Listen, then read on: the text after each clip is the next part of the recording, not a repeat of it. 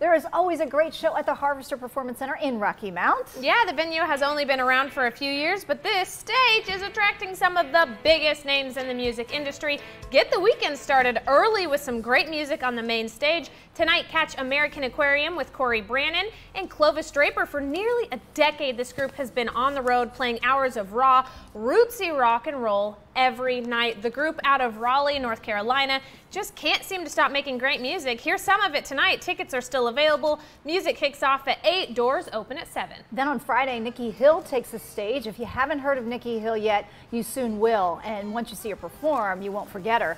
Another Carolina native has a unique voice that combines raw rock and soul dynamics with the strength, passion, and honesty of blues. That show is tomorrow night. Music starts at 8. Tickets are just $18 in advance, $22 the day of the show. So snag them now and save a few bucks.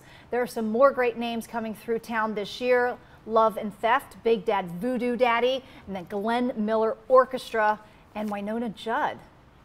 Great shows. Yeah. And the big noise coming through at the end of October. Yeah, find out more about these and other acts coming to the Rocky Mount stage on their website, harvester-music.com.